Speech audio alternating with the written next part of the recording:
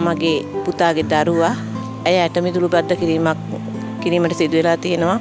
අවුරුදු තුනහමාරක් තිස්සේ ඇය රෝගාතුරව හිටියා.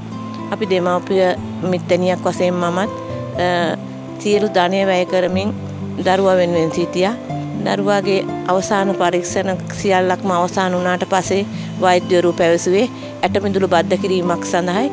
එම නිසා දියවඩන නිලමෙතුමා හමුවීමට ආවා මෙහෙන් ආධාරයක් දෙනවා කියලා කියන ආරංචියට ඒ අනුව මට එතුමාට බුදු බවත් වෙන්න දරසා හාමුදුරන්ගේ පිහිට ආරස්සාව ලැබෙන්න ලස්සේක මුදලක් මට පරිත්‍යාග කරලා තියෙනවා. එතුමාට බුදු සරණයි.